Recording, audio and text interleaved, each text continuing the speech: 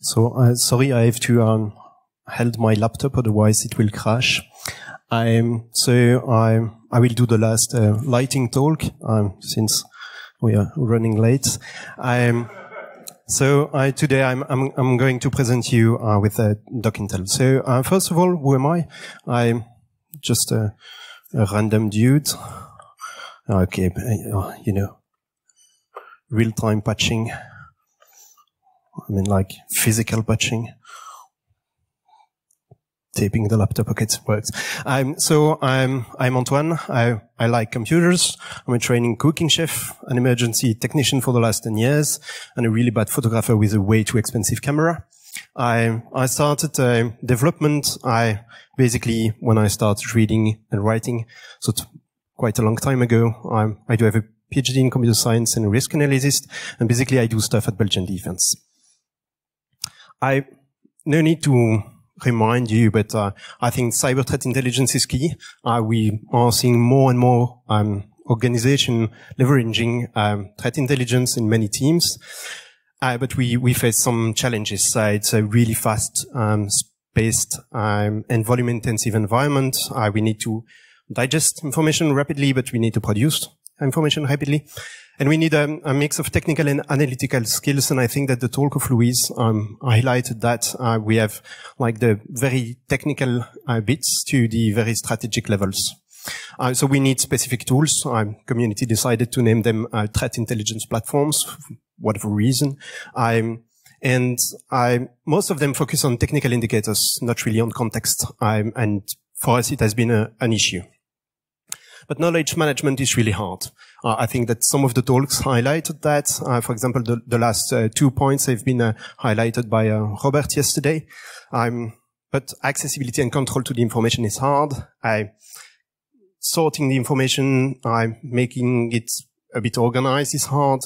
Searching in information is hard. Yeah, even in in in, in these uh, these days, your subject matter experts will leave your organization whether you like it or not. That's uh, that's the reality. But you still want to keep the knowledge that uh, they shared with you over the years.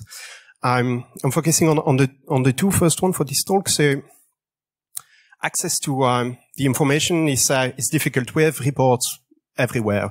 Um, all the security vendors, they, they have these information portals uh, that you are forced to use to access the information that you are paying quite a high price for it. Uh, you have all the analysts that have uh, PDF reports in one of the folders on the desktop, um, and you have the blog post on the, the website, but those disappear. So the questions are, okay, what if, what if the commercial contract ends? I do not say that you need to keep the uh, intelligence even if you no longer have a commercial contract, but leave that open to a discussion. Um, what if your analysts leave the organization? What if the researcher decide to close the his blog and then you lose the information? I'm searching in all these sources is a nightmare. And I, we want to search for exact phrases. Uh, classical examples, uh, but also for approximate terms like Ouroboros, Ouroboros, or Ouroboros. I, I, I, can't remember what I, um, or what exact word I need to use, and everyone is using a different one.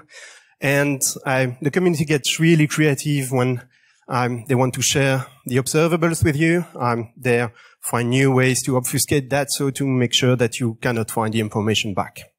So to solve these issues, I, we will not use SharePoint.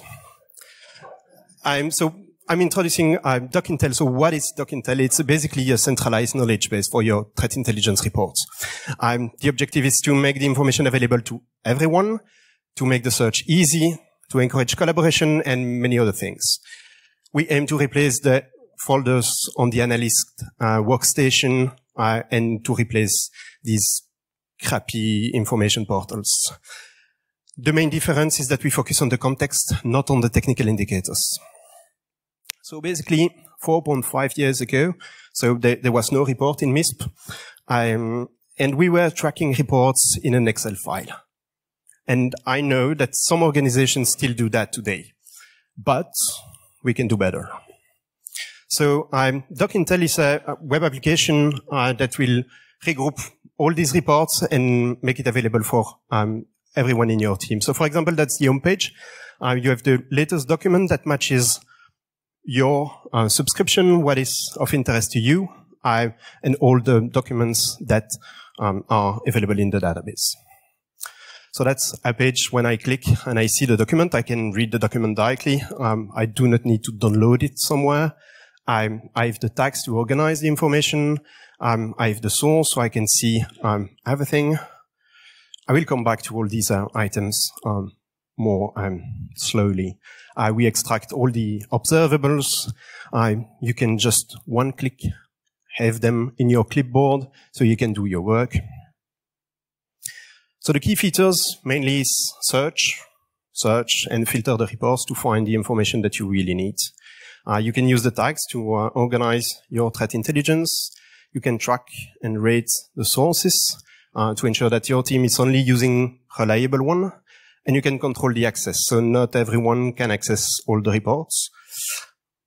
That's a reality, but very few organizations are able to enforce that. So the key concepts in, in DocIntel are the following ones. There are three slides, don't worry. I, the first concept is document. A document is just a collection of files. So mainly it's a PDF uh, report, but it can also be like a text file with a snort rule or an Excel file with a bunch of IOCs. Uh, you can bundle everything in a document, give it a nice title, a description, and, um, and then you, you can go for it. Um, we organize the information with tags that are groups uh, grouped in facets. So for example, here we, uh, we, can see a few tags that match countries, and we use a facet target geography that uh, document what country has been uh, mentioned as a target in the uh, related report. We have facets. Uh, the second facet, this is software that keeps track of the software mentioned in the report. We have sources that are basically provider of um, documents and files. You can read them, so uh, you can ask your analyst to only search in reliable source. If you need, for example, to produce a report in an hour, might speed up your work. You can add comments. Uh, we extract observables. We have groups to control who can see the information. So, for example, if you attend the first conference, uh, there you could uh, see all the um, presentation that were TLP red, um, but that are only available to the member of that specific group. We can control um, fine-grained uh, what the user can do. Uh, we can import automatically, uh, and you can subscribe to the topics that are of interest to you. So back to uh, that um, that page with a a document. So uh, now that we uh, we know a bit uh, the the um, the concepts, we have the tags, uh, so we can see okay uh, that technique was mentioned in the report. Uh, we have here three files: a PDF report, an HTML report, and then an attachment that was extracted when we did the scraping. We can see the source. WeLiveSecurity. we can see the rating I gave for the presentation. Um, you can see when it was extracted and all that information.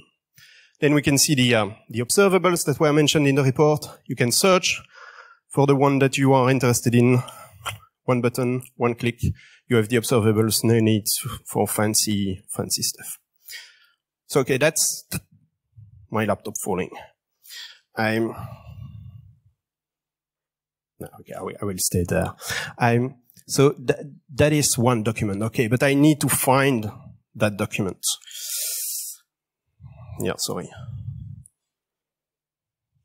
No, it's not working. Um, if you already bought something online, you can search in DocIntel. Uh, basically, that's exactly the same. You have a search box, you can search, and then you have the filters here on the left. Uh, so you can only get products that are like climate friendly. Uh, basically, it's exactly the same page. Uh, the filters are on the right. Uh, you have a search box. You you might want, for example, to search for log4j. No idea why you would do that, but anyway. And then you can filter to say to only see um, the uh, reports that are, for example, tagged with uh, one specific uh, actor or one specific country. Um, so, okay, now we have documents. We can search for them but you still need to put the documents inside and that's usually painful.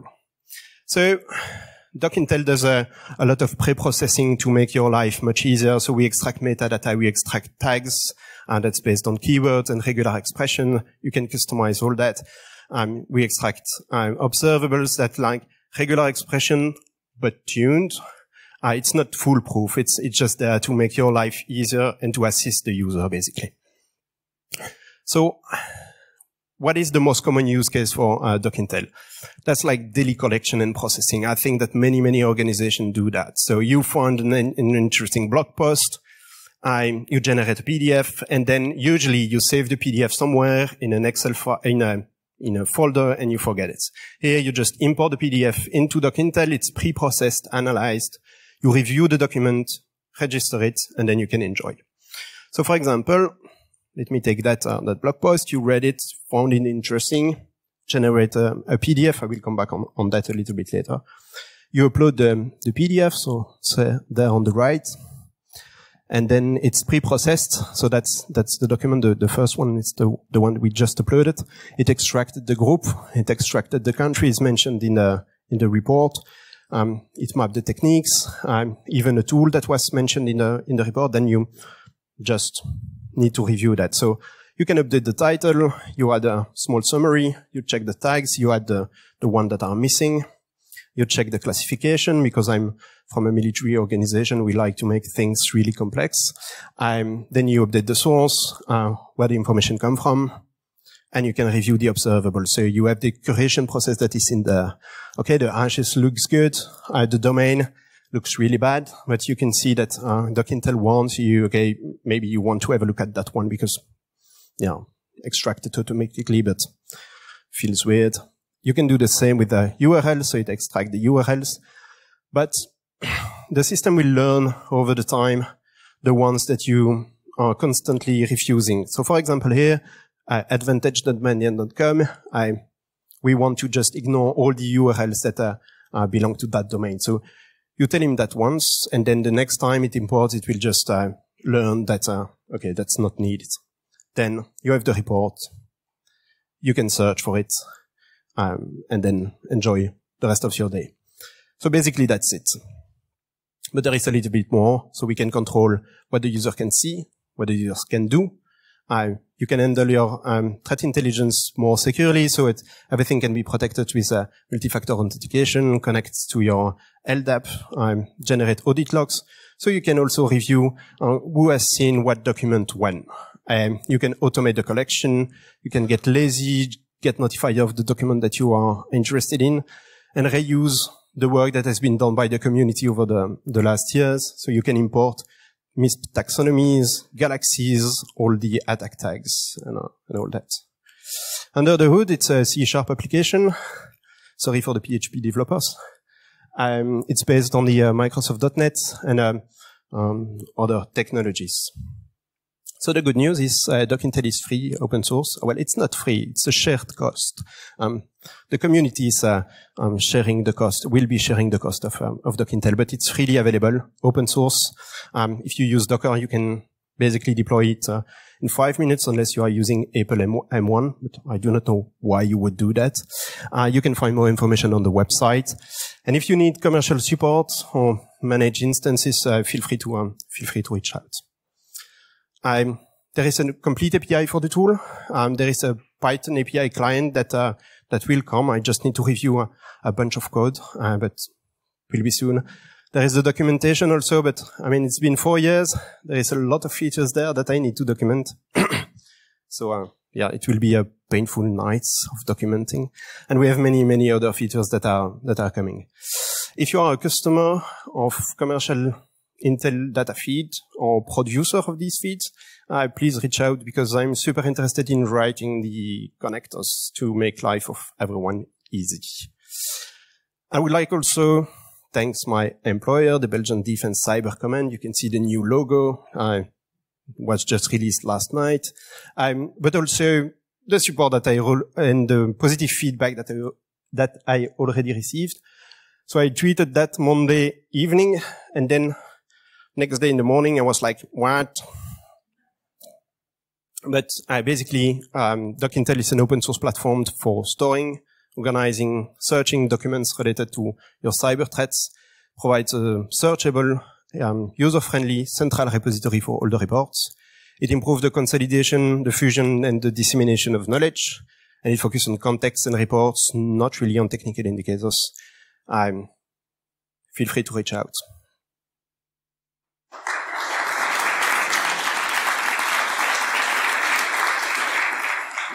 Great, thank you very much. Uh, any questions? Yeah.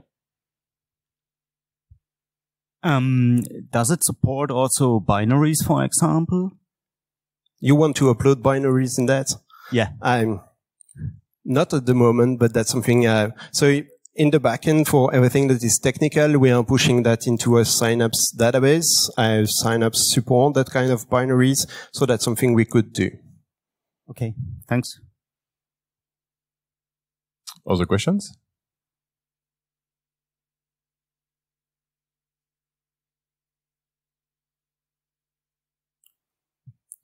No more questions? I'm surprised. I was expecting more questions.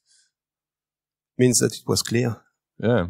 Or that nobody is interested. Could oh, oh, Andras has questions. Uh, should I give him the mic? Yeah, yeah. Yeah. Okay. So, so just a quick one. First of all, thanks for releasing it. I mean, it's been a long time coming and we've been waiting for it. Uh, I, I, saw that you mentioned in one of the uh, last slides that you're also doing uh, premium support. Uh, what what does it entail and how does it work? So can you can you? So what what what what does it entail, and, and do you already have like some plans for uh, what it actually looks like in practice for the support, Yeah. Um, at the moment, it's like a, an open question. So I I I do not know um, how many people want to use the tool um, and what kind of support they need. I, I know that I can help them running large instance. So I know that the tool scales up to um, hundreds of thousands of documents, but you might need some tuning to do that. Um, so yeah, basically it's an open question and we will see in the upcoming month uh, what people are, I need or if we just kill the project and then done. Oh, we have more questions. Yeah, just a small question. Uh, over the 10 or 15 years, I've downloaded a lot of threat reports and I've searched on them on the most terrible ways. So this is like, wow. So 50 gigabits of reports, how much resources do I need or? Well, it's a good question, but a standard virtual machine should be enough. Cool. Uh, you, I mean, from my point of view, uh, 50 gigabits is, uh, gigabytes is like a, sm a rather small data set. Say, just a, scale for me, scale is different for everyone. I'm, I know it scales up to that number of document on a very non-fancy environment, uh, but it works on Kubernetes and there you could scale. Awesome.